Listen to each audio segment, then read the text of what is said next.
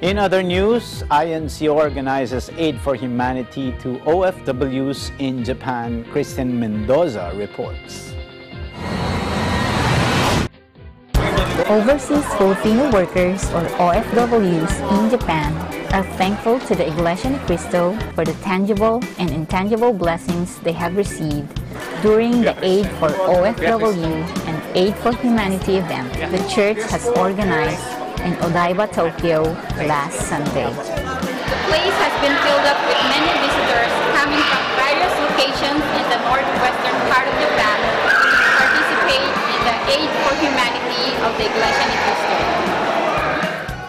Some guests said the event has cheered them up and comforted them from the homesickness they have felt living away from their family and friends. One of them is even feeling emotional as she thanked the church for inviting her to an event where she got to mingle with so many Filipinos, curing the loneliness she felt. Salamat po sa pag-invite po sa amin. Blessed po kami na nakarating po dito.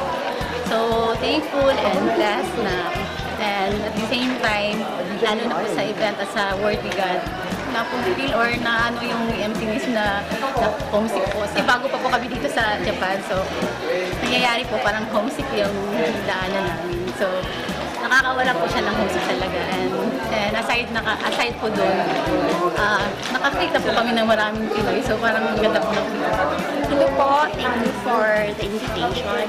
Um, actually, it's my first time to join such an event. Three weeks pa kasi ako dito sa Japan.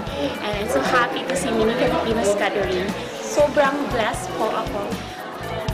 In the event, the Philippine-grown church has distributed food, drinks, and giveaways to all their invited guests, regardless of their nationalities.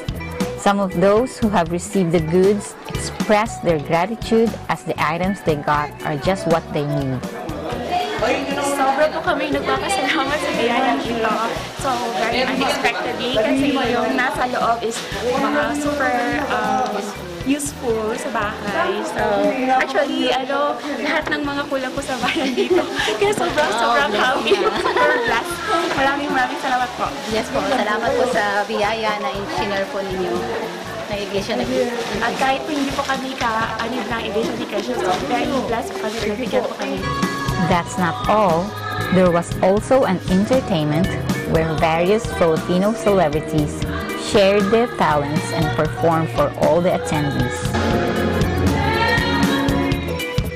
But aside from the tangible things they got, guests are also thankful for the intangible gifts they acquired the words of God from the Bible or the inspiring words during the worship service that was officiated by no other than the Iglesia Ni Cristo's executive minister, Brother Eduardo V. Manalo, who traveled all the way from the Philippines to visit the church's members in Japan.